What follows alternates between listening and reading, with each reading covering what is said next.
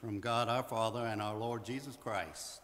Welcome to everyone who is joining us online this beautiful Sunday morning from St. Andrew's United Methodist Church here in Orangeburg. Pastors Carol and Robert are away today.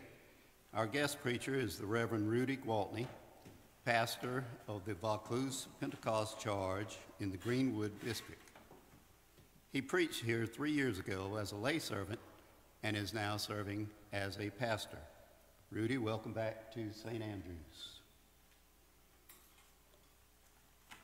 You are invited to join us online this Wednesday at 7 p.m. for a Bible study. Pastor Carol will lead us as we look at Mary Magdalene, first person recorded to have seen Jesus after his resurrection. Let us now open our hearts for worship by lighting the paschal candle as a sign of Christ's presence with us.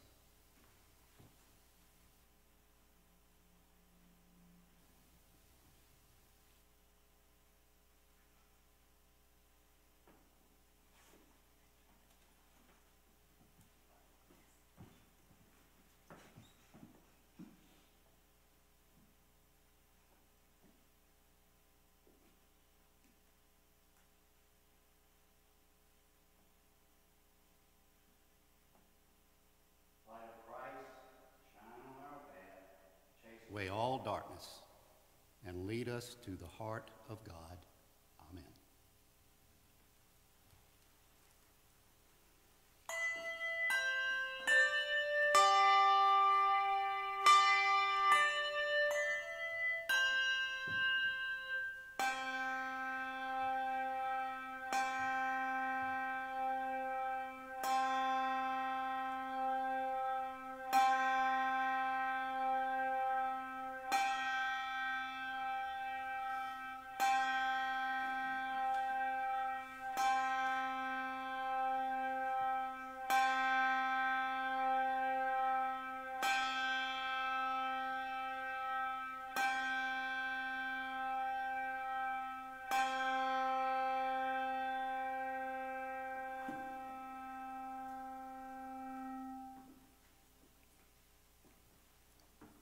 Our hymn of praise will be number 303 in hymnals, The Day of Resurrection, and the words will be on the screen.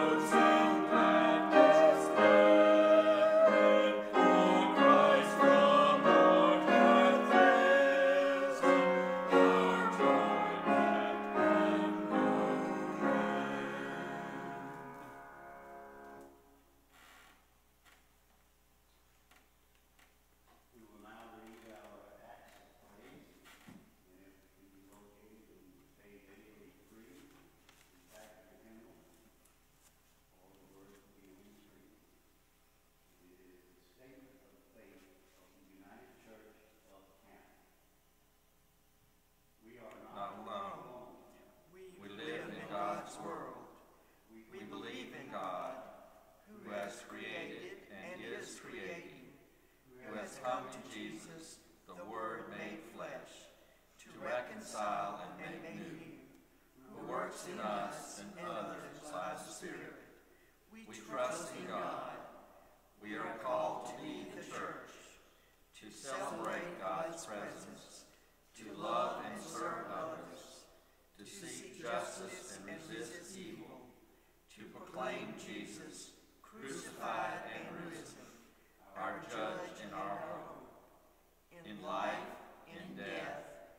life.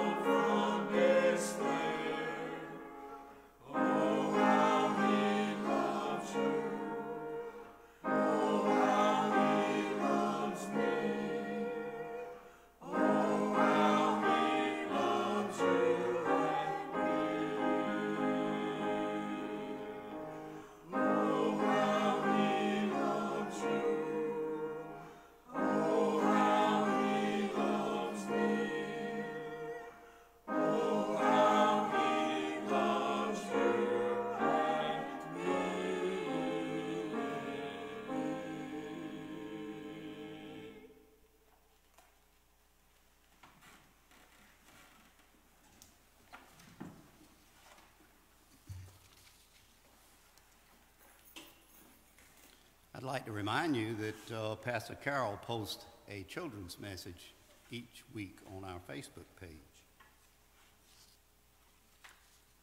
As we prepare for prayer, prayer, we have concerns and joys to share. We want to lift up Richard and Andrew Williamson upon the death of their grandmother, Harriet Williamson, this past Sunday. We lift up all doctors, nurses, and hospital employees who are caring for people during this coronavirus pandemic. We lift up people of our church family who are living with cancer Nita Haynes, Freddie Riley, Cheryl King, Catherine Jones, and Melissa Judy. We'd also like to lift a friend of our church, Rosalind Tyson Cox, who is fighting the coronavirus in a Virginia hospital at this time. Let us pray.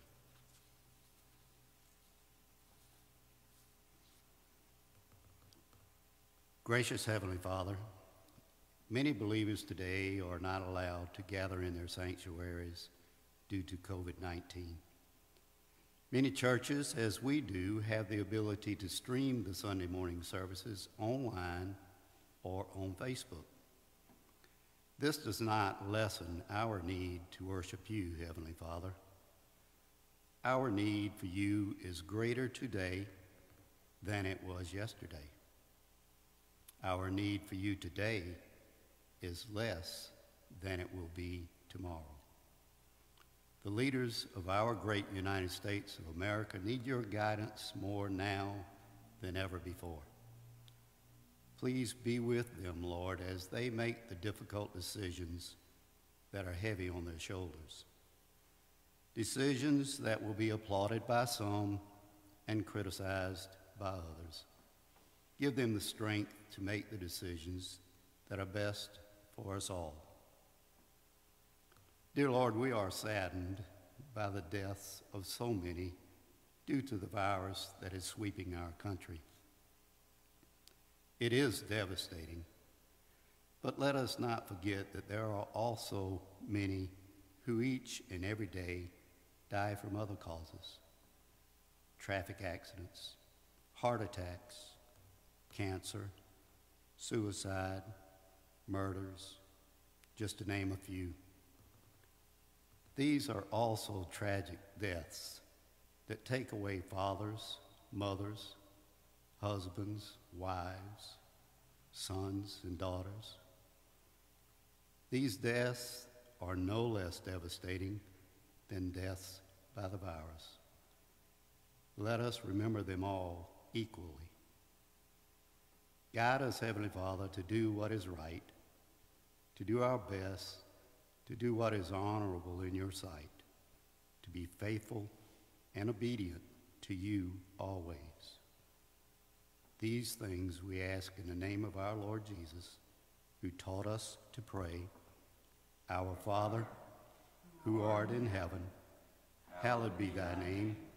Your kingdom come, your will be done on earth as it is in heaven. Give us this day our daily bread, and forgive us our trespasses, as we forgive those who trespass against us. And lead us not into temptation but deliver us from evil. For thine is the kingdom, and the power, and glory forever. Amen.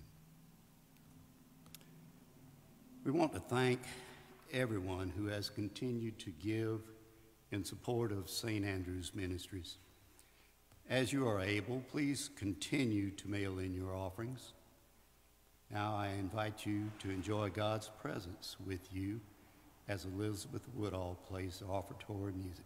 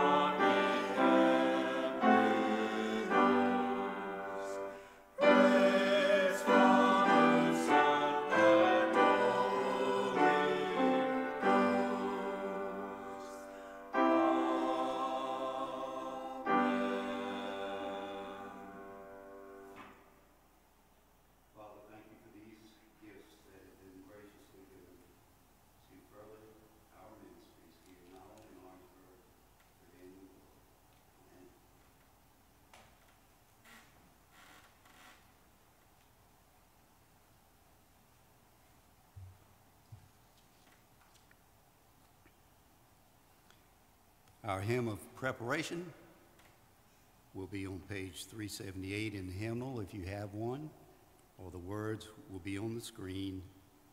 This is Amazing Grace.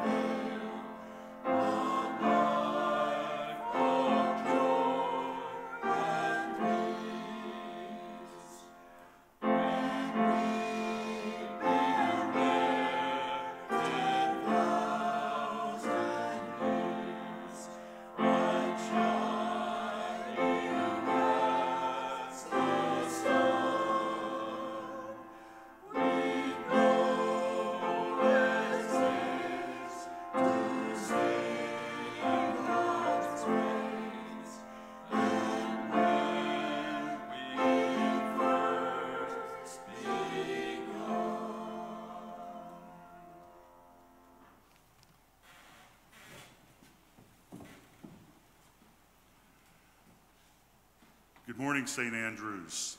It's a blessing to be here with you today. And for those that don't know me, my name is Rudy Gwaltney. I live up the street in Bamberg. I have uh, helped to run the Visiting Nurses Association for the last 35 years and was a member at Trinity United Methodist for 30 years.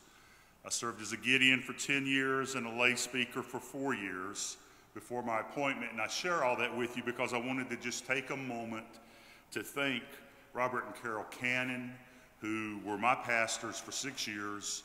They mentored me along the path of becoming a pastor, and they and your former pastor, David Kaufman, have been a, a big help to me. So I just wanted to express my love for them. I know this congregation loves them as well, and just wanted to take that moment to share that with them.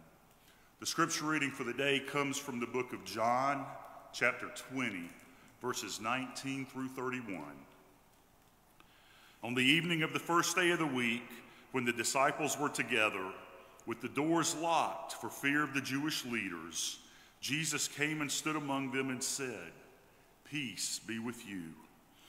After he said this, he showed them his hands and side. The disciples were overjoyed when they saw the Lord. Again, Jesus said, Peace be with you.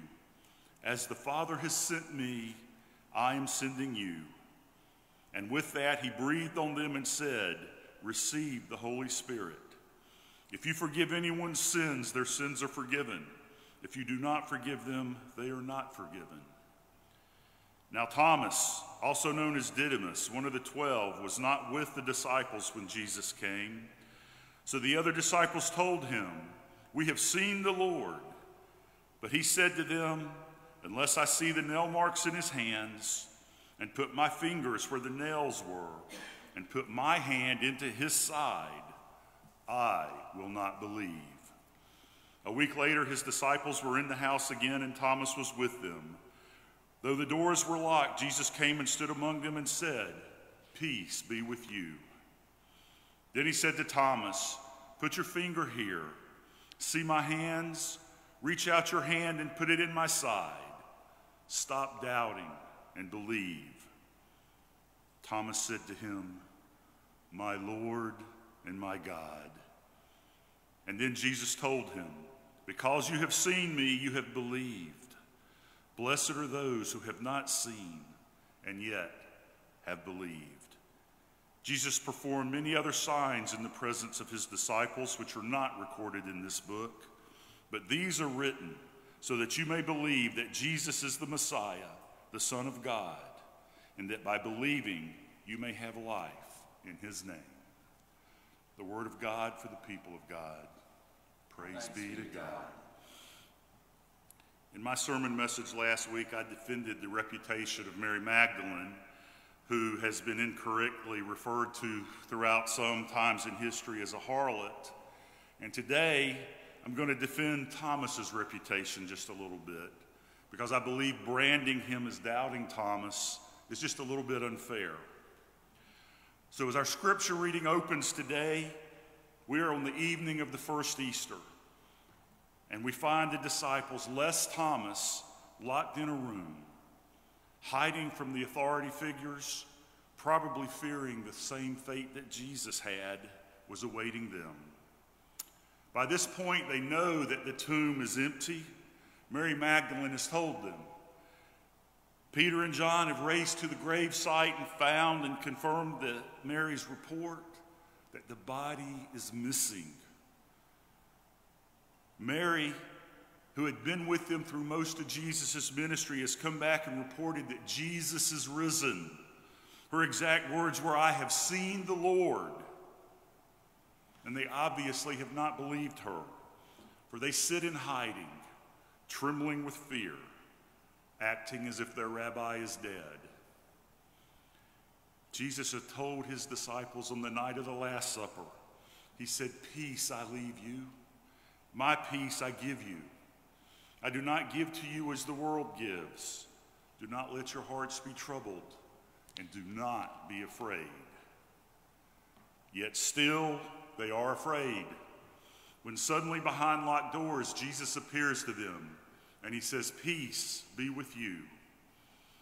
Can you try to imagine for just a moment what they experienced? In one moment, going from fear and unimaginable grief to unimaginable joy.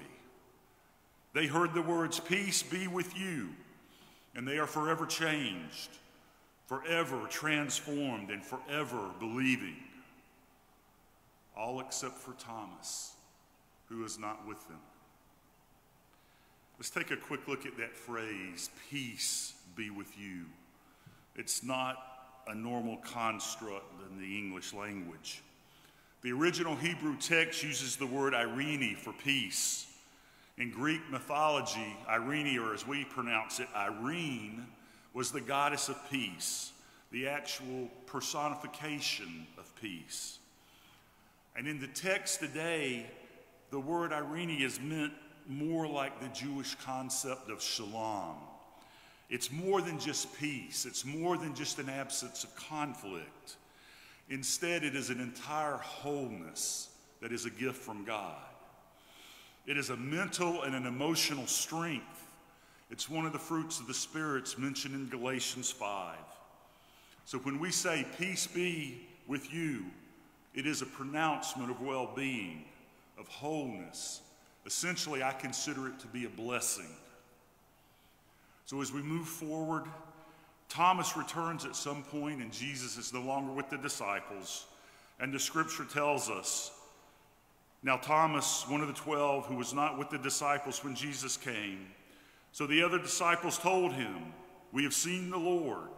But he said to them, Unless I see the nail marks in his hands, and put my fingers where the nails were, and put my hand into his side, I will not believe.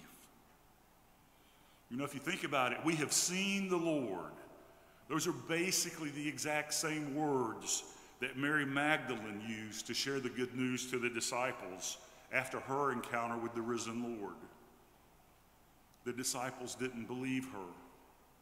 And now, with those same words, Thomas does not believe the other disciples. You see, we have uh, branded Thomas as doubting Thomas. But in reality, all of the disciples doubted. They were all doubters until their doubts were erased after their, after their doubts became belief with their first encounter of the risen Lord. Thomas was just like them. He could not accept, he could not conceive of the news of the resurrection. He had to see Jesus for himself. So perhaps honest Thomas is a more fitting name than doubting Thomas. Please also note that Thomas is not a meek person, he's not a coward. When Jesus made the decision to head to Judea to raise Lazarus, this was the same place that just a little earlier the Jews had tried to stone Jesus, and the other disciples are trying to talk him out of it. And it was Thomas who stood up to the disciples and said, Let us also go that we may die with him. No, Thomas is no coward. Yes, he doubted, but no more so than the other disciples. He just cannot believe their testimony. And his frustration finally gets to him, and he tells them, I will not believe. You see, Thomas had been a believer in Jesus. He had followed Jesus, fully expecting to be put to death with him. He was zealous for Jesus. And now, after the crucifixion, he is crushed. All the belief that he had has drained out of him. You could actually go so far as to say that he probably felt betrayed by Jesus.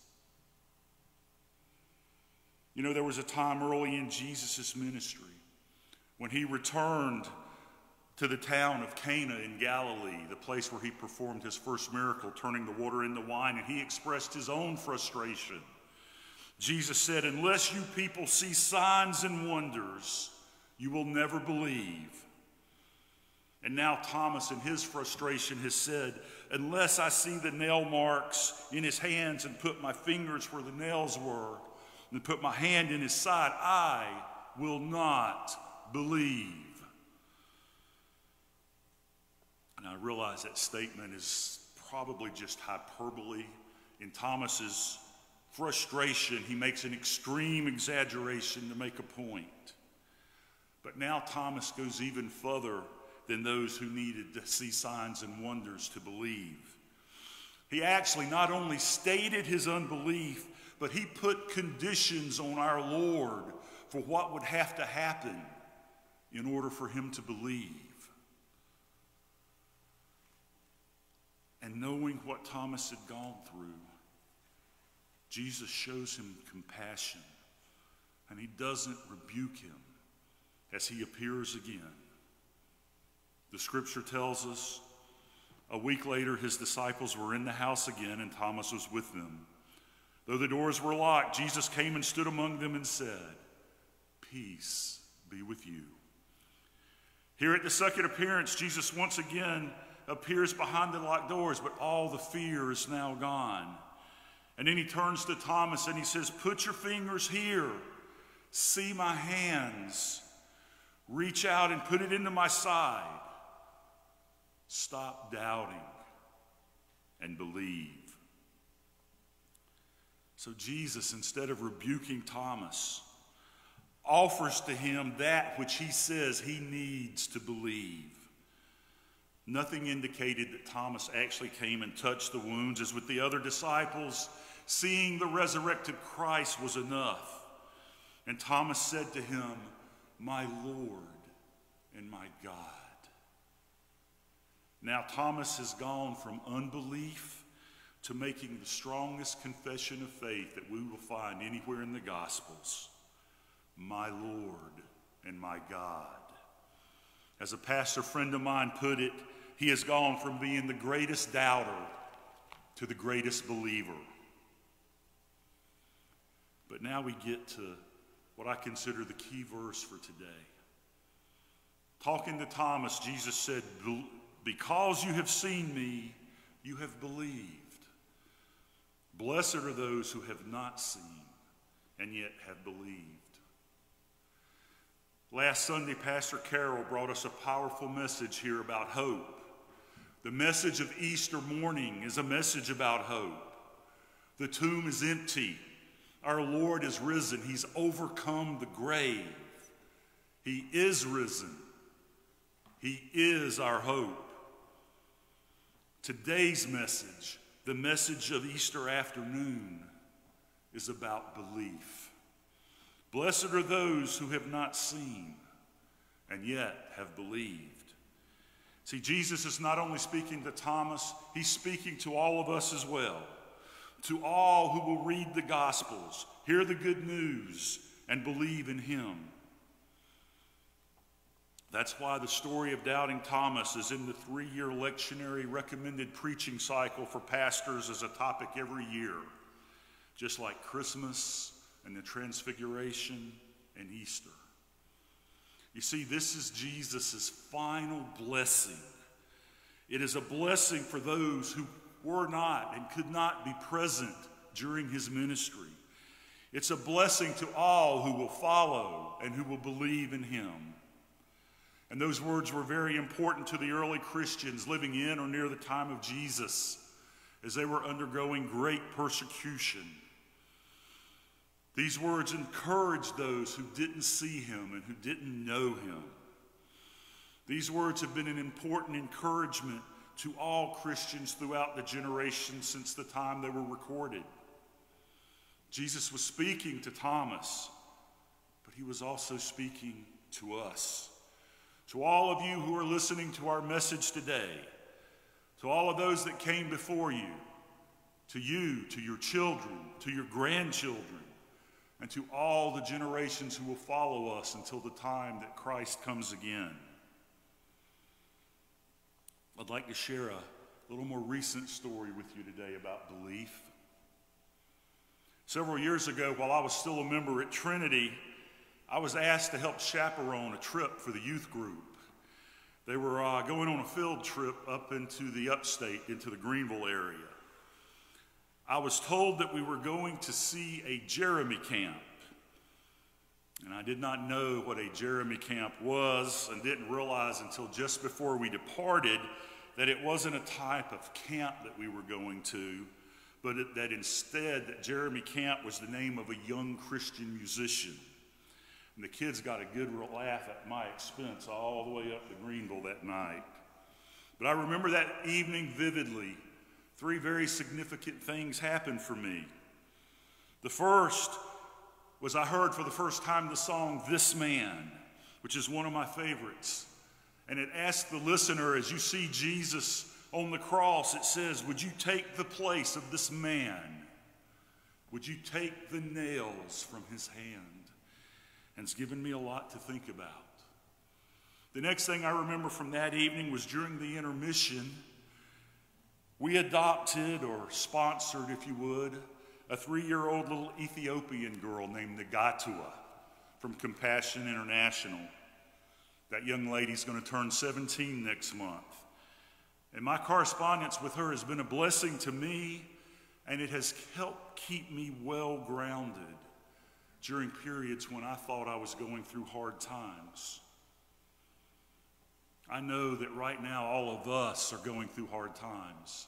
Many of you cannot work. Many of you cannot get out to see your loved ones. Many of you are sick. Many of you are avoiding treatments because of this virus.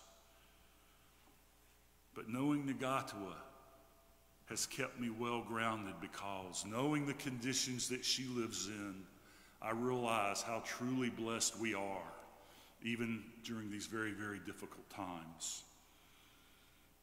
The thing I remember most from that evening is Jeremy Camp telling the story of his wife, Melissa, of how she had been diagnosed with ovarian cancer and it had spread through her entire body. And then she had been miraculously healed. They were married a month later, and shortly after their honeymoon, the cancer came back with a vengeance. And a little later, she was taken to be with the Lord. Melissa had said on several occasions if just one life comes to know Jesus through my cancer, it will all be worth it. And that's one of the most powerful statements of belief I think I've ever heard. If just one life comes to know Jesus through my cancer, it will be worth it. As part of the answer to her prayer about two weeks after her death, the Holy Spirit told Jeremy to pick up his guitar, something he hadn't wanted to do. It was really the last thing he wanted to do on that day. But he picked it up and he wrote the song, I Still Believe. And in the song, he describes the struggle and the pain at the loss of his wife. It reminded me much of the man who told Jesus, Lord, I believe, but help my unbelief the Lord called Jeremy to pick up his guitar and to use the talents that he had been given. He has traveled the world sharing Melissa's story with unknown thousands upon thousands of people at the concerts that he gives. That story's just now been made into a movie called I Still Believe. It was in the theaters prior to the virus outbreak, and it's now streaming on the cinemas at Amazon and DirecTV and other sites. It's an excellent film. But the point is, is that now her story is being shared with millions.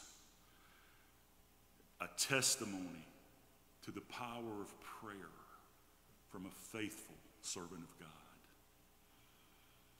As I close today, I want everyone to realize that the gospel writers wrote their books as a testimony to the risen Lord so that others could receive the good news, so that others could believe. Matthew wrote to his fellow Jews, to those that were familiar with the Old Testament, so that his readers would know that Jesus is Israel's Messiah and that their holy scriptures are fulfilled in him. Mark wrote to the people of the Roman Empire in a manner for people who were not familiar with the Old Testament.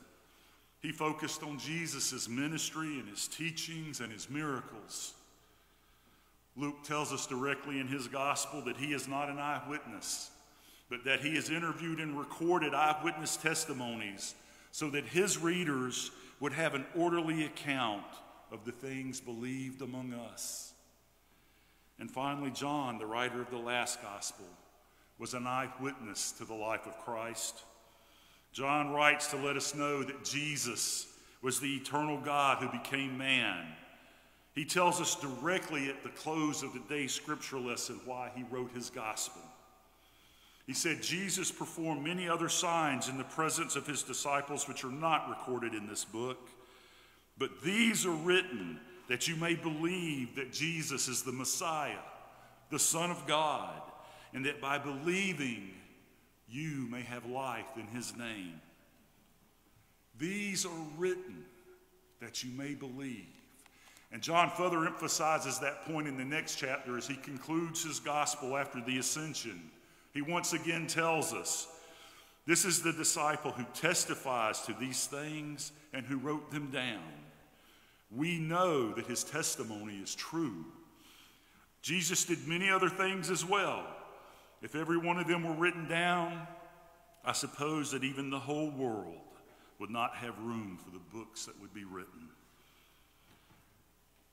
These gospel writers and the disciples did not do their work to receive fame or fortune. Far, far from it. As they spread the good news around the Mediterranean region of the world, they were persecuted, and all but John were martyred for the faith, for sharing the message of the good news. They spread the message as part of their belief in and their love for Jesus. They accepted their commission so that others would come to have a saving knowledge of our Lord. Make no mistake, they doubted, and all of us at some point will struggle with doubt through our lifetimes. But just as he did with Thomas, Jesus comes to us and can give us what we need to overcome doubt so that we can move from the dark places into the light. The Lord left us with his great commission to go and make disciples of all nations, baptizing them in the name of the Father and of the Son and of the Holy Spirit, and teaching them to obey everything I have commanded you. And surely I am always with you to the very end of the age. You see, those who love the Lord share their belief. Those who love the Lord share their hope. Those who love the Lord share their love. Melissa Camp prayed if just one life comes to know Jesus through my cancer, it'll be worth it. Melissa Camp loved the Lord. As part of the answer to her prayer, Jeremy wrote the song, the book, and eventually helped with the movie adaptation of I Still Believe. And I'm going to close today with the lines from the song's chorus. These words were written through Jeremy's pain and suffering. I still believe in your faithfulness. I still believe in your truth. I still believe in your holy word. Even when I don't see, I still believe. Amen and amen. If you would now, let's sing our closing hymn, which is number 310 He Lives.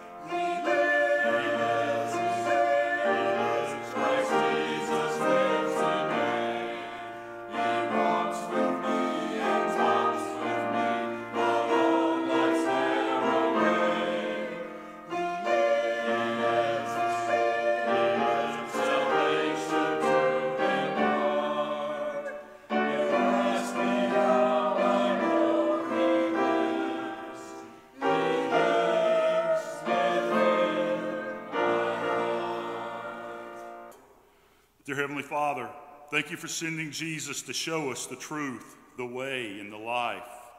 Thank you for the lessons that he taught his disciples and their faithfulness to share it with others. Thank you for today's lesson on doubting Thomas. Thank you for the life of Melissa Camp and her special prayer. And thank you for answering that prayer many, many, many times over. And now, my friends, May the Lord bless you and keep you. May he make his face to shine upon you and be gracious unto you. May he lift up his countenance upon you and give you peace, both now and forever. Amen.